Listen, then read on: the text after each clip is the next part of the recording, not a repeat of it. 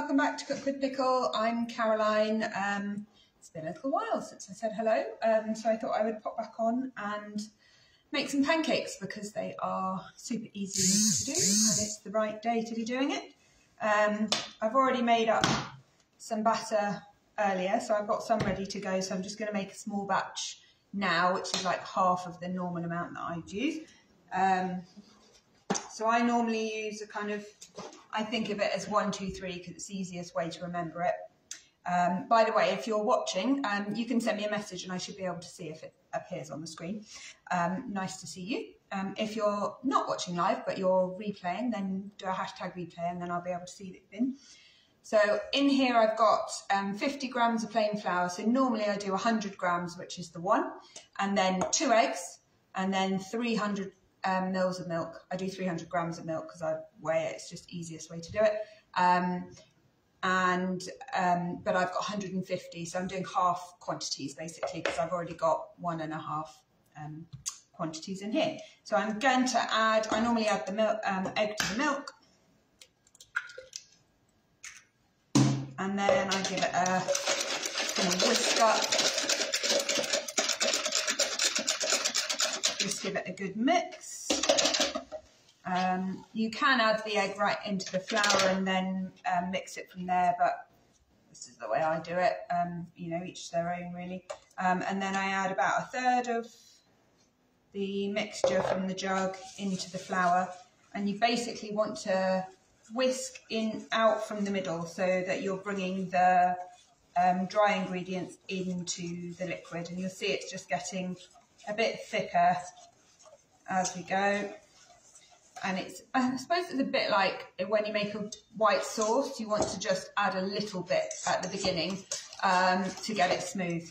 Um, so now that's nice and smooth, and then I'm going to start gradually adding a bit more of the milk. So I'm just going to pour it in and then hold the bowl, um, and that way you avoid getting kind of lumps in the batter. Thank you, Jemima. Um, this is a super simple recipe. So it's literally 100 grams of flour, um, two eggs, and 300 mils of milk. Um, and it's a recipe I could basically make with my eyes closed. I make it most Sunday, Saturday morning, so um, it's really easy and it makes um, kind of thin English style pancakes, uh, crepe style pancakes. So there's the batter. I'm not sure. Hopefully you can see that. Um, it also, you can make this in advance. So I'm, I've made up some already. Um, it is, it does kind of fry up better if you leave it for a little bit. Um, to, um, sorry, I'm just turning on my pan because I forgot to turn it on earlier and actually hot pan is one of the keys to making pancakes work. So I should have got in there earlier, but never mind. So I'm just going to pour this into the rest of the batter I made earlier and get that mixed up. So this is almost full. Um, yeah, I've been have been a bit quiet on here, which is a bit silly of me really, but um, my I've had my ring light, so I'm just moving you over to the other side of the kitchen by the hob. Um, I've had my ring light on the um, dining room table because um, when it's dark at night time, um, I need the light in order to take pictures of the food and then I can't be bothered to move it back to the kitchen again, basically. I'm a bit lazy. So um, that's where I, why I've not been on here so much. Um, but yeah, now I am just going to wait for this pan to heat up. I'm terribly sorry, I should have been more organised with this. I'll show you what I'm going to serve with the pancakes actually. So um, the kids will want things that are savoury, uh, sweet, sorry, but I've got some savoury bits that I'm going to put out as well. So I've got some slices of ham um, and some slices of smoked salmon. Um, and I've made up a little kind of yogurty, cream cheesy dill lemon dip, which or sauce, which will go with the smoked salmon. Um, and I've also, um, where is it gone? Here it is really thinly slice some cucumber. So I'll pop that with the smoked salmon inside the um, pancakes um, and kind of roll them up so that, and with the um, dill sauce on the top. And then there's some just some grated cheese to go with the ham as well. Um, it may be that my daughter will just have cream cheese and cucumber because that's one of her favourite kind of sandwich fillings. Sorry, the dog's um, scared of her own shadow. Um, and and we'll see where we go. But inevitably, we'll end up with Nutella and um, various syrups and um, uh, syrups and uh, lemon and sugar, which is obviously the kind of classic. So I'm just going to turn this down so you can see the pan, hopefully. Um, so what I do with pancakes, I've now got, I say I've got, this is my daughter's pancake pan. Um, my sister asked me what she could get my daughter for Christmas, so I suggested a pancake pan. Um, we do use it together, but I do also use it myself.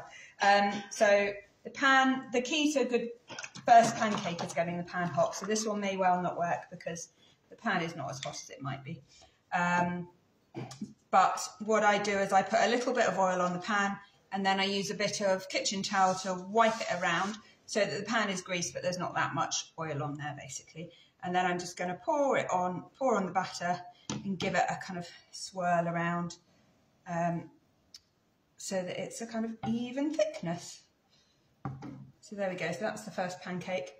Um, as I say, often the first one doesn't work because the pan's not hot enough. So I'm just gonna, I will leave it for a little bit. Um, the this is a kind of this is a 30 centimeter pan. So the pancake mixture, the, the 100 grams, two eggs, and 300 mils of milk will make around six to eight pancakes, depending on um, how thick you make them, basically.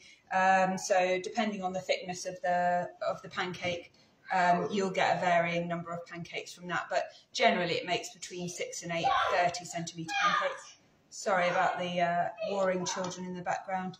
Uh, we've had one in COVID isolation who's just gone back to school today, and the other one's now in COVID isolation, so that's really good. Uh, I'm having a fantastic time. So this one, as you can see, is still a bit pale because the pan's not heated up yet properly. Um, so I will cook this on this side um, and then turn it over again and cook it a bit more. Um, but yeah, I hope everyone is going to be enjoying some pancakes later. I'm going to get the kids up and see if they can do some flipping of pancakes. Um, I'll cook a few first so that there's something for them to actually eat um, in case they will end up on the floor. Um, but let me know how you get on. Let me know what you're having with your pancakes this evening and uh, have a lovely afternoon. Great to see you all. Bye.